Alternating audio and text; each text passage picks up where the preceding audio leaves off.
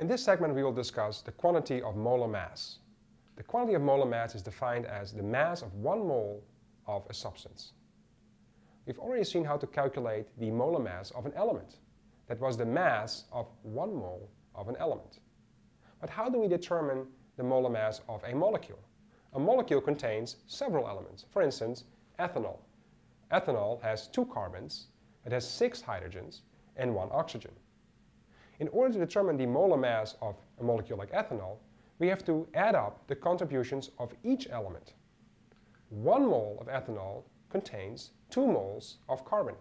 That means that carbon contributes 2 times 12 grams to one mole of the compound, because the molar mass of carbon is 12.01 gram.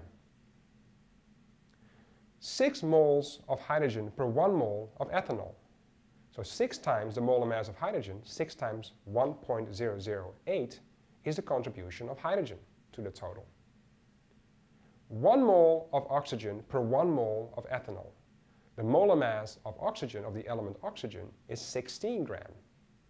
That means 1 times 16 is the contribution of oxygen to the molar mass of ethanol. So if we add up all these contributions, we find a total of 46 0.07 grams. That means that the molar mass of ethanol is 46.07 grams. Now, the molar mass is a very important quantity in chemistry calculations. So let me show you a couple of examples of how we can use the molar mass to do some important mass and quantity relationships. The first example concerns the molecule aspirin.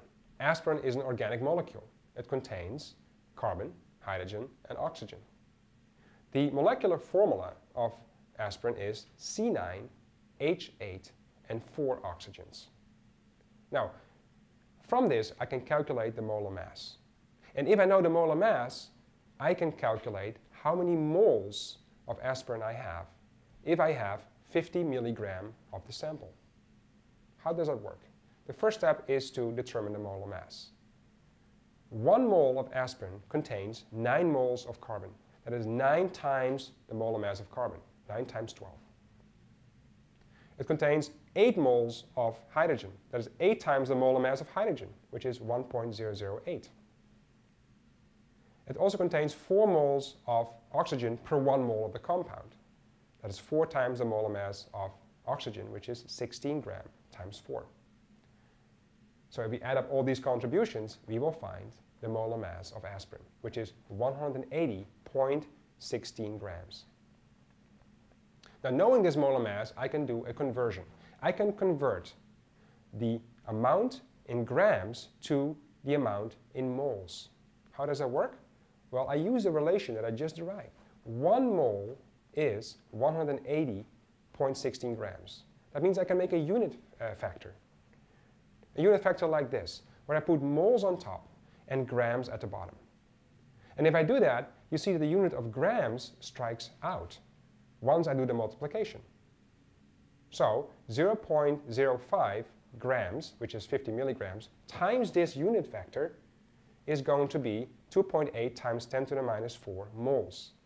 I converted grams to moles by dividing the amount of the substance in grams by the molar mass of the substance. This is a very useful relationship that we will be using over and over again. Let's look at another example.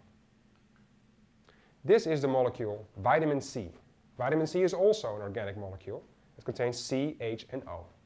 It contains six carbons, eight hydrogens, and six oxygens.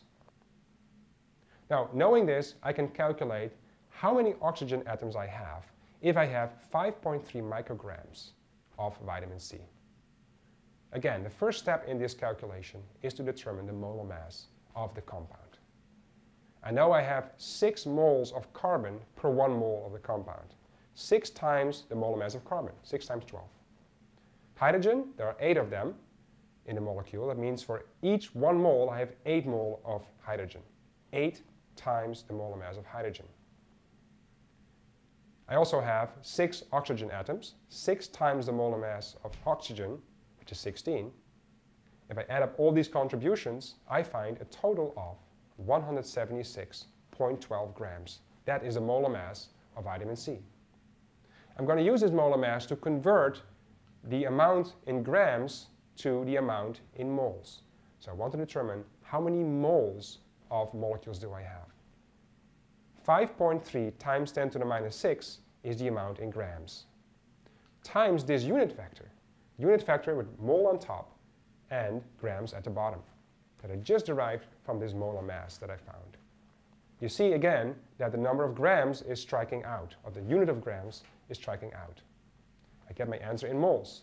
The answer is 3.0 times 10 to the minus 8 moles of vitamin C. Now I know how many moles of molecules I have. But I'd like to know how many molecules do I actually have. I can find that by multiplying that with how many moles of molecules there are in one mole. So I take that number, 3.0 times 10 to the minus 8, and multiply that by how many molecules there are in a mole, which is 6.022 times 10 to the 23rd. That multiplication gives me the total amount of molecules, 1.8 times 10 to the 16 molecules. The last step I have to do is to determine how many oxygen atoms I have. I know the number of molecules, and I know that each molecule has six oxygen atoms. So six times the number of molecules should give me the number of oxygen atoms in my sample. That is 1.8 times 10 to the 16 times 6 is a total of 1.1 times 10 to the 17 oxygen atoms. Let's do one more example. In this example, I like to calculate how many carbon atoms I have in a sample of ethanol. Given that this sample of ethanol contains 2.0 times 10 to the minus 4 grams of oxygen. How does that work? First, I like to convert the number of oxygen atoms in grams given here to a number in moles. I have 2.0 point times 10 to the minus 4 grams. If I divide that by the molar mass of oxygen, I find the total number of moles of oxygen. So 2.0 times 10 to the minus 4 grams divided by 16 grams per mole equals 1.25 times 10 to the minus 5 moles of oxygen. Knowing how many moles of oxygen I have, I can determine how many moles of carbon I have. I know that for each oxygen atom, I have two carbon atoms because the molecular formula of ethanol says one oxygen for each two carbons. That means if I have 1.25 times 10 to the fifth moles of oxygen, and I multiply that with the following unit factor, which says 2 moles of carbon per 1 mole of oxygen. You see that the unit of mole of oxygen strikes out. So what I effectively get is the number of moles of carbon atoms. This calculation involves a multiplication by 2. 1.25 times 2 is a total of 2.5 times 10 to the minus 5 moles of carbon. The last step I'd like to take is to take the number of atoms of carbon in moles and find out how much the mass is of this sample of carbon. I can do that by multiplying the number of moles of carbon by the molar mass of the element carbon. That is 2.5 times 10 to the minus 5 moles times the molar mass, which is 12.01 gram per mole. Again, look at the units. The unit of mole will strike out, and my new unit is grams. The result is 3.0 times 10 to the minus 4 grams of carbon. That is how many carbons I have in grams in this sample of ethanol.